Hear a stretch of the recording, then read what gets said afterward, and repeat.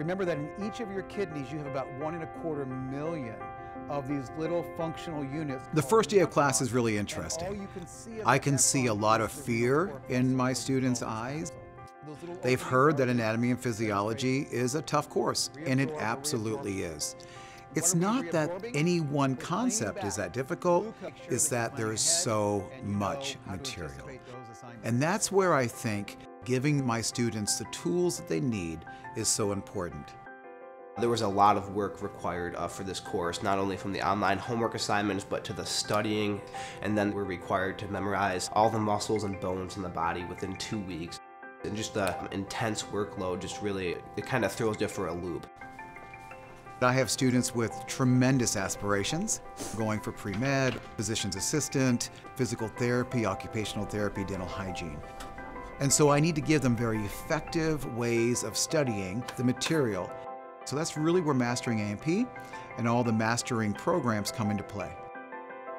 I was homeschooled my whole life, so coming to college and having a teacher present the materials to me in their own way and telling me what to study. So you can see that going around those tubes, there are capillaries. So a lot of blood. It was really eye-opening. Students have changed their study skills. They're going from books and learning material from the written word to videos and online activities. This is really going to get you thinking a little bit. So I'm going to go ahead and present this question. Who's everyone into learning catalytics? Online technology and online homework has become not a supplemental part of my course, but an absolute integrated and required portion. Take a look at this image. One of the critically important aspects to mastering for me is that nearly everything is customizable and I can assign it and hold my students accountable to doing that work. My first semester that I took biology, I was working 20 hours a week and I was taking four classes and there were times when I would leave my textbook at home. But if I had my laptop, if I had my tablet, or even my phone, through the mastering site there is an electronic textbook.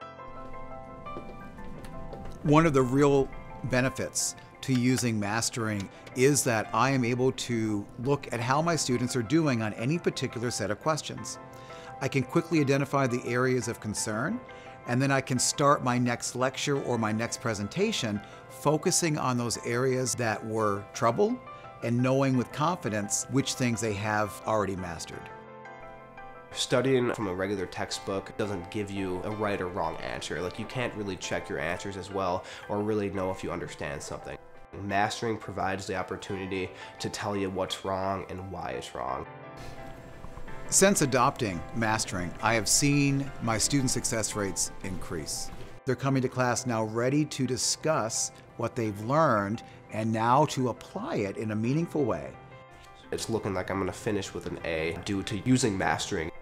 So I'm looking forward to being a physical therapist with all the knowledge I need to have to help other people in the future. Mastering definitely made me a better student.